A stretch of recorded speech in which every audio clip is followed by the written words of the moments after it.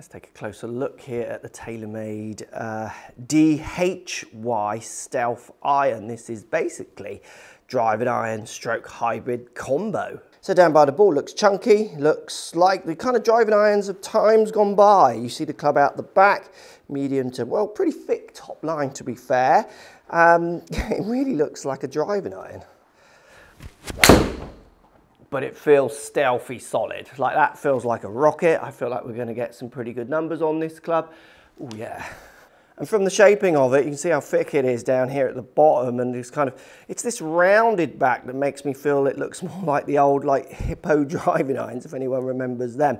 But I like that. I like the fact that I feel like I could hit this from the ground and the tee, and that's kind of what it's trying to do. It's trying to really bridge that gap between driver or fairway wood down to your longest iron.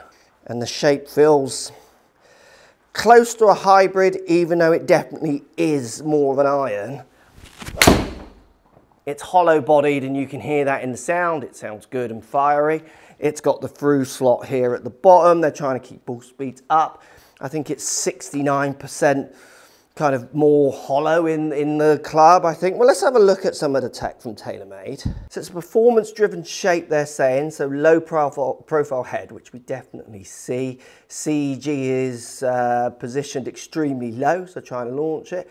Forged hollow body construction, cone technology in the face, flexible face, speed foam air, so 69% less dense than its predecessor, so they're saving weight and redistributing it where they need to and it's got the through speed uh, or the through slot speed pocket which is there to increase fl uh, face flexibility is what TaylorMade is saying. So as you would expect, it's packed with their tech, you know, which has been for years. I'm using the 19 degree free here and it feels like it would touch my free wood for distance, but on the shorter side, you know, it'd be more, it would be, I stop at a six iron, so I need something else, but this would be the club close to my free wood coming down from my free wood because it feels strong. I definitely feel like it would be a great teeing off club for anyone who's struggling with tee shots. You know, they, they run away from their driver a bit and want something which feels a bit more consistent. Playing it from a variation of lies, yeah, it's going to launch lower than maybe a hybrid, but if you've got some speed, this one's still going to pop up in the air. I mean, it's super low profile, isn't it?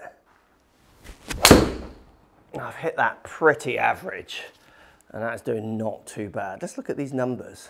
Yeah, so 213 carry, totaling 231. I mean, I do feel like I get this out at 250 top end and hit it in at like 210 variation, 135 ball speeds, 3,400 spin, which for a free iron is pretty good.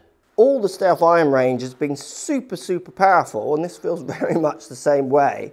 Um, I'm liking it. I, I actually feel like this is something I could game.